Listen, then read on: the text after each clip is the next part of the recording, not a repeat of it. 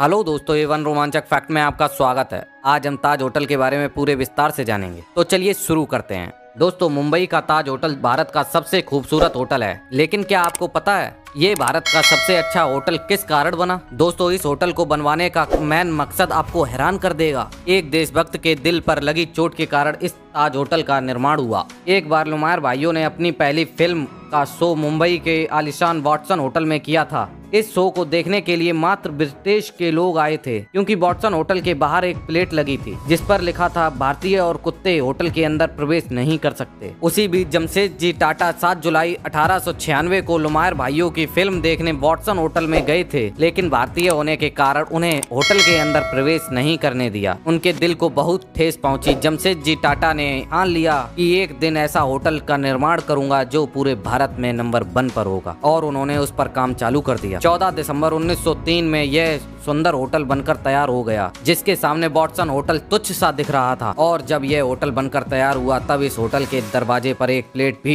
लटका दी गई जिस पर लिखा था ब्रिटिश और बिल्लियां अंदर प्रवेश नहीं कर सकते उस समय इस होटल के निर्माण में लगभग 25 लाख रुपए खर्चा हुआ था 26 नवंबर 2008 की रात को कुछ आतंकवादियों ने ताज होटल पर अटैक कर दिया जिसके कारण होटल को बहुत नुकसान पहुंचा और इस होटल में लगभग 500 आदमी ठहरे हुए थे आतंकियों ने उन पर भी गोलियों की बौछार की जिससे काफी घायल भी हुए कुछ लोग गोली से मारे भी गए होटल की सुरक्षा के लिए मुंबई पुलिस और मिलिट्री फोर्स के जवान वहाँ पर पहुँच गए और काफी घंटों तक आतंकियों से गोलीबारी की काफी मुश्किल से फोर्स ने होटल को आतंकियों से छुड़वा पाया जिसमें कुछ जवान शहीद भी हो गए एक सल्यूट उन शहीद जवानों के लिए हमें अपने भारत पर हमेशा गर्व रहेगा जय हिंद दोस्तों वीडियो अच्छी लगी हो तो एक लाइक जरूर करें और चैनल को सब्सक्राइब करें